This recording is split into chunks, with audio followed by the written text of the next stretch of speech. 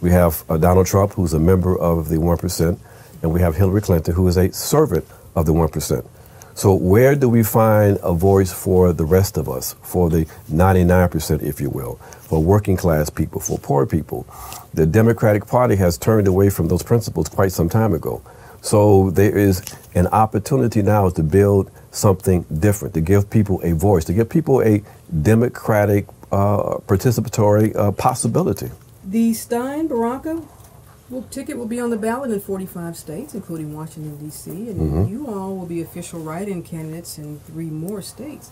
Still, Libertarian candidate Gary Johnson and Jill Stein, they will not be a part of the first presidential debates at Hofstra University next week. I'm sure that's disappointing for you all.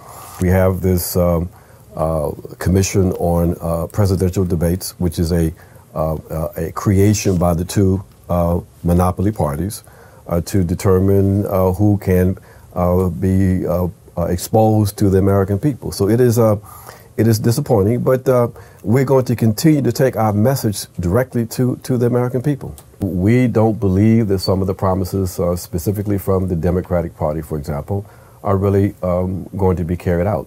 We remember the kind of hope and change uh, messaging from the Obama administration, and we saw what we got, which was very little uh, hope and um, almost no change. Uh, so we don't believe that we are going to see any kind of real uh, advancement with a Democrat or, of course, with a Republican. That's why it's important for us to, to offer an alternative. I understand that Jill Stein told CNN that she plans to show up at the event with her supporters. Is mm-hmm. that true?